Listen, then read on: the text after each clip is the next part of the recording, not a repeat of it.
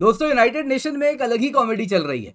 आपको जान के हैरत होगा, वो देश जहाँ पे मस्जिद तोड़कर टॉयलेट बनवाया जाता है, जहाँ पे पुराने पुराने, सैकड़ों साल पुराने मस्जिदों में जो मीनार है, मीनार हटवा दिया जाता है। वो देश जहाँ पे जो इस्लाम में कलमा होते हैं, वो कलमा लिखे हुए टाइल्स में का इस्तेमाल किया जाता है, जिसके ऊपर लोग चलते हैं। दोस्तों, वो देश, यानी कि चाइना इस्लामोफोबिया पर यूएन में एक रेजोल्यूशन ला रहा है। किसके साथ मिलके? अपने भाड़े के डट्टू पाकिस्तान का इसमें इस्तेमाल किया गया है। दोस्तों, यहाँ पे भारत ने इस दोगलेपन के अल्ट्रा प्रो मैक्स वर्जन को कॉल आउट कर दिया। इंडिया ने साफ़ साफ़ कह दिया कि भाई, हम तो इस प्रकार के रिजोल्यूशन को बॉयकॉट करते हैं, इसमें हम वोट नहीं करेंगे। इंडिया का जो कहना है, वो बड़ा साफ़ है। देखिए, जहाँ तक बात है इस्लामोफोबिया की आप वहीं पर क्यों रुक जाते हैं? उसके आगे भी बढ़िए एब्राहमिक फेथ्स के आगे बढ़िए, और देखिए किस प्रकार से दुनिया में इतने सारे हिंदू हैं, इतने सारे, अगर आप देखें तो सिख्स हैं, बुद्ध हैं, उनको कैसे धर्म के आधार पे प्रोसिक्यूट किया गया? कैसे बामयान बुद्धा को उड़ाया गया? क्या वो सब आपको नहीं दिखता? उनके दर्द पे मरहम या पट्टी लगाना दूर की बात है। क्या आप मानते भी नहीं है कि इन लोगों को प्रोसिक्यूट किया जा रहा है? दोस्तों, यहाँ पे रुचिरा कंबोज जी ने क्या कहा है? उनका वीडियो भी हम देखेंगे एग्जैक्टली क्या कहा है? सब कुछ उन्हीं से सुनेंगे। इसके सिवा चाइना के इस दोगलेपन के अल्ट्रा प्रो मैक्स को भी आज हम इस वीडियो में बेनकाब करने वाले हैं। इससे पहले आगे बढ़े। आप लोगों से निवेदन है, वीडियो को लाइक कर दें अलग अलग ग्रुप्स में शेयर कर दें और भारत संवाद को सब्सक्राइब करना बिल्कुल भी ना भूलें। बेल आइकन ज़रूर दबाएँ। दोस्तों यूएन जनरल असेंबली ने एक ड्राफ्ट रेजोल्यूशन इंट्रोड्यूस किया है। ये ड्राफ्ट रेजोल्यूशन किसके द्वारा स्पॉन्सर्ड है? पाकिस्तान। को स्पॉन्सर चाइना। ड्राफ्ट रेजोल्यूशन किस पर है? Islamophobia. United Nation General Assembly में 193 मेंबर्स हैं। उन्होंने इस रेजोल्यूशन को अगर आप देखें तो एडॉप्ट भी कर लिया है। Measures to combat the Islamophobia अगर आप देखें तो 193 मेंबर्स में से 115 मेंबर्स ने इसके फेवर में वोट किया। एक भी देश ने इस रेजोल्यूशन के अगेंस्ट वोट नहीं किया है। चौवालीस देश ऐसे हैं जिन्होंने एब्सटेन कर दिया बॉयकॉट कर दिया। काम वोट ही नहीं डालेंगे। जिसमें इंडिया है, जिसमें ब्राज़ील है, जिसमें फ्रांस है जर्मनी है यूक्रेन है यूके है और मेलोनी जी हैं इटली भी है। तो दोस्तों, ये जो देश है, इन्होंने एब्सटेन किया है। रेजोल्यूशन किस पर था? रेजोल्यूशन कह रहा है कि जो ऑन गोइंग वायलेंस हो रहा है अगेंस्ट मुस्लिम्स उसके खिलाफ दुनिया एकजुट होकर एक्शन ले। बात सिर्फ़ इतनी ही नहीं है। उन्होंने ये भी कहा रेजोल्यूशन की मांग थी कि यूएन सेक्रेटरी जनरल एक special envoy to combat Islamophobia appoint करें। अब दोस्तों, इस पर क्या भारत ने कहा, क्या भारत की प्रतिक्रिया थी, वो तो देख ही लेते हैं। लेकिन सबसे पहले चाइना के दोगलेपन को भी तो देखें, जिन्होंने इसको को स्पॉन्सर किया है। दोस्तों, यहाँ पे अल जजीरा का एक ओपिनियन पीस है जो आपको मैं दिखा रहा हूँ।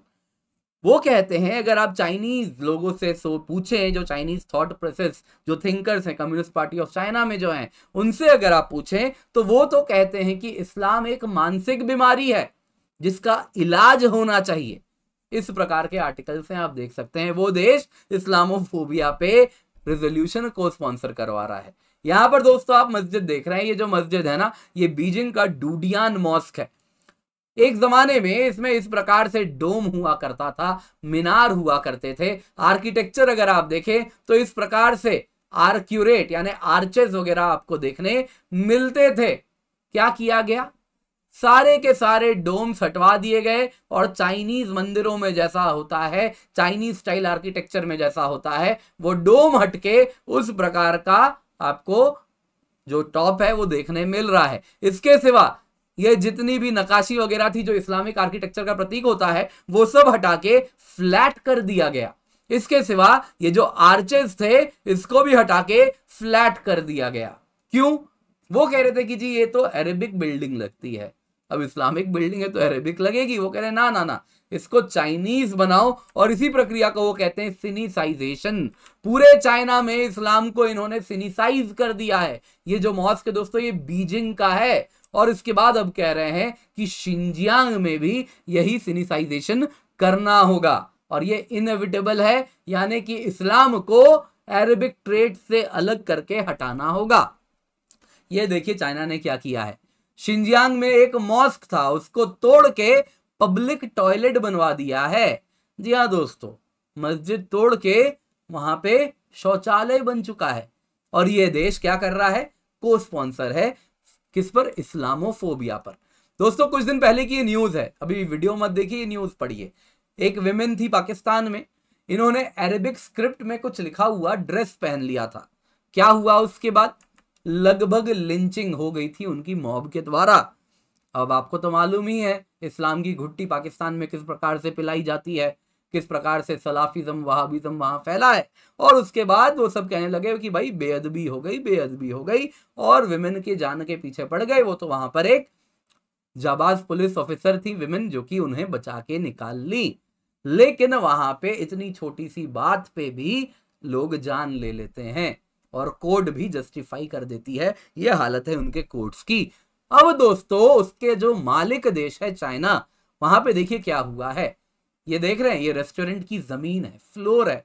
उसमें टाइल्स हैं, जिनमें कलमा लिखा हुआ है, जिसके ऊपर लोग चलते हैं, जूठा खाना गिरता है।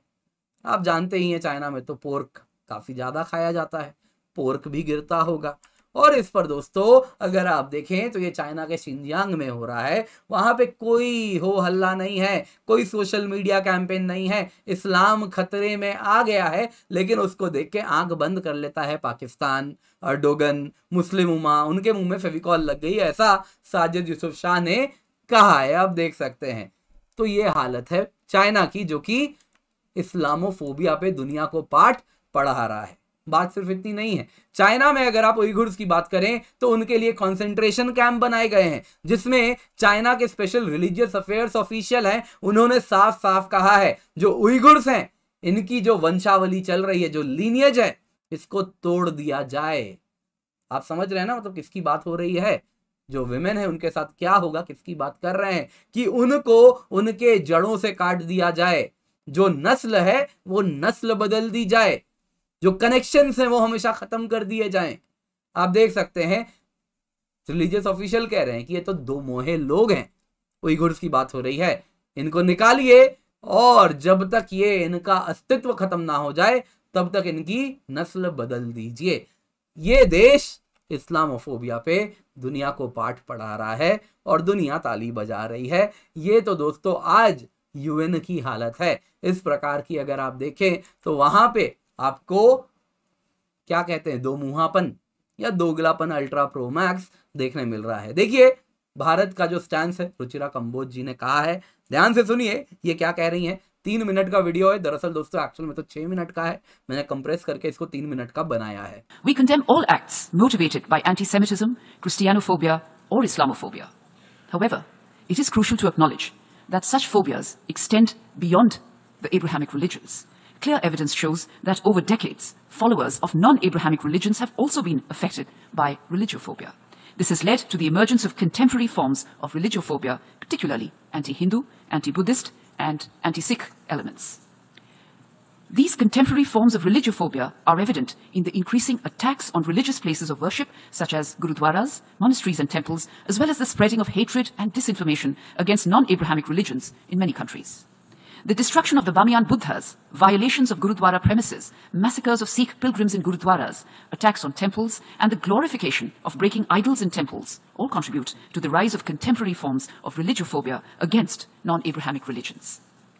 It is crucial to recognize, Mr. President, that Hinduism, with over 1.2 billion followers, Buddhism, with more than 535 million, and Sikhism, with over 30 million followers worldwide, are all subject to religiophobia. It is time that we acknowledge the prevalence of religiophobia rather than just single out one. In this context, I would ask all member states to consider the broader scope of religious discrimination that persists globally. While the issue of Islamophobia is undoubtedly significant, we must acknowledge that other religions are also facing discrimination and violence.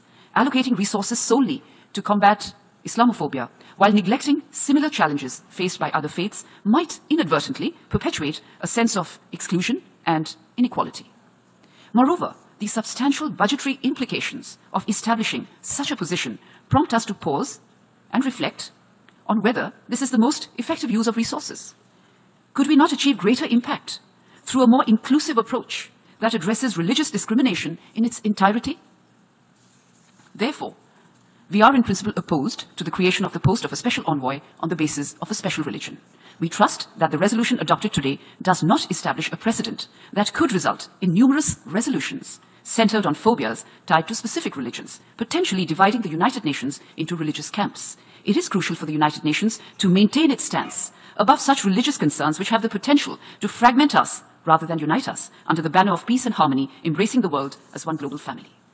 Mr. President, as I conclude, I will state that India stands against all forms of religiophobia, be it anti-Semitism, Christianophobia, Islamophobia, as we stand against all anti-Hindu, anti-Buddhist, and anti-Sikh sentiments. One final point, Mr. President. This concerns a delegation that, much like a broken record, remains sadly stagnant while the word progresses. It is unfortunate indeed to witness this delegation's limited and misguided perspective on matters relating to my country, the more so when the General Assembly considers a matter that demands wisdom, depth, and a global outlook from the entire membership, perhaps not the forte of this delegation. Thank you. दोस्तों आप लोगों ने सुना रुचिरा कंबोज जी ने लगभग आपने सुनी लिया एक बार मैं जल्दी से आपको समराइज कर देता हूँ इन्होंने कहा कि हाँ भाई जितना भी अगर इस्लाम के नाम पे कहीं पे इस प्रकार से इस्लामोफोबिया फैल रहा है तो उसके खिलाफ हम खड़े हैं क्रिश्चियनोफोबिया फैल रहा है उसके भी हम खिलाफ खड़े हैं वैसे ही अगर ज्यूज के खिलाफ एंटी सेमिटिज्म कहीं हो रहा है, उसके भी खिलाफ है सबको हम कंडेम करते हैं। लेकिन एक बात याद रखिएगा कि इस प्रकार से प्रोसिक्यूशन इन एब्राहमिक रिलीजन्स के सिवा भी, बाकी धर्मों के खिलाफ भी प्रोसिक्यूशन होता है। मत बोलिए दुनिया में 1.2 बिलियन हिंदूज हैं 535 मिलियन बुद्ध हैं और 30 मिलियन से अधिक सिख हैं। उनके खिलाफ किस प्रकार से प्रोसिक्यूशन हुआ है, मत भूलिए। उन्होंने याद दिलाया कैसे बामियान केव्स को, कैसे तालिबानियों ने बॉम्ब लगा के उड़ाया था, मत भूलिएगा। वैसे ही कैसे सिक्स अब रिसेंटली प्रोसिक्यूट हुए हैं तालिबान के द्वारा। तो ये सब वो याद दिला रही हैं और कह रही हैं कि इसलिए मेरा मानना है कि बस आप एक मज़हब को पकड़ लीजिए और उसी के लिए सब कुछ कीजिए। इस्लामोफोबिया इस्लामोफोबिया और उसके नाम पे दिन मनाइए, एक स्पेशल ऑफिसर अपॉइंट कर दीजिए। ये गलत है। आप रिलीजियोफोबिया कीजिए कि धर्म के आधार पे लोगों को प्रोसिक्यूट किया जा रहा है। सिर्फ़ इस्लाम के ही नाम पे नहीं होता, बाकी धर्मों के नाम पे भी होता है, ये मत भूलिए।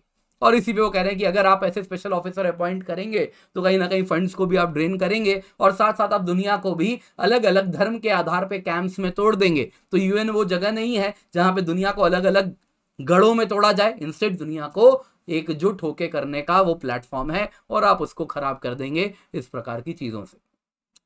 दोस्तों, आइए आपको एक फन फैक्ट बताता हूँ। बड़ा इंटरेस्टिंग फन फैक्ट है। ध्यान से सुनिएगा। दोस्तों, आपको याद होगा 2019 में क्राइस्ट चर्च अटैक हुआ था और उसके बाद से जहाँ पे मॉस्क में अटैक हुआ था और उसके बाद से यूएन जनरल असेंबली हर साल 15 मार्च को International Day to Combat Islamophobia के रूप में देखती है। 15 मार्च। 15 मार्च को ही क्या कहा जाता है? Ides of the March. क्या है ये आइड्स ऑफ़ द मार्च? दोस्तों, दरअसल, अगर आप देखें तो जूलियस सीजर को, आपको मालूम है किस प्रकार से खंजर मारा गया था पीठ पे? उसके पूरे ग्रुप ने, जो भी लोग थे सबने मिलके, सेनेट के जो थे, सबने मिलके पीठ पे इस प्रकार से खंजर मारा था। इसी को कहते हैं आइड्स ऑफ़ द मार्च। कहा जाता है, पंद्रह मार्च वो दिन होता है जिस दिन कुछ बुरा होता है है ना? ये कोई मतलब बैड ओमेन कहलाता है पंद्रह मार्च। और अगर आप जूलियस सीजर के बारे में जो विलियम शेक्सपियर ने लिखा है, उसमें भी एक फॉर्चून टेलर आते हैं। जब सेनेट में सीजर घुसने वाले होते हैं, उस वक्त उनको बोलते हैं, आज ही है आइड्स ऑफ़ द मार्च तो वो कहते हैं कि हाँ मुझे मालूम है आज आइड्स ऑफ़ द मार्च है, ऐसा क्या है? मतलब अभी गया नहीं है, अभी दिन बाकी है, सतर्क रहना और इनके साथ ऐसा हो जाता है। कौन सा दिन है? पंद्रह मार्च। जिस दिन इंटरनेशनल डे टू इस्लामोफोबिया मनाया जाता है। और उसी दिन अगर आप देखें तो जूलियस सीजर पे पीठ पे खंजर मारा गया था। क्या कनेक्शन है? आई एम जस्ट सेइंग मैंने कहा ना, ये तो बस एक फन फैक्ट है। पीठ पे खंजर, इस्लाम, मैं कुछ नहीं कह रहा आई एम जस्ट सेइंग ये फन फैक्ट था। आइड्स ऑफ़ द मार्च याद रखिएगा। और International Day to Combat Islamophobia भी याद रखिएगा। पंद्रह मार्च। तो दोस्तों, उम्मीद करता हूँ वीडियो आपको पसंद आई होगी। लाइक ज़रूर कीजिएगा। इसके सिवा आप चाहें तो इसे शेयर कर सकते हैं और हमें चाहें तो आर्थिक रूप से सहायता भी आप दे सकते हैं। इसके सिवा अगर आप विदेश में हैं तो आप पेपैल के माध्यम से भी सपोर्ट कर सकते हैं। पर सबसे बड़ा सपोर्ट है आपके सब्सक्राइब बटन को दबाना, आपके बेल आइकन को दबाना। आपको और एक वीडियो दिख रहा होगा। मेक श्योर sure आप उसको भी अवश्य ही देखें।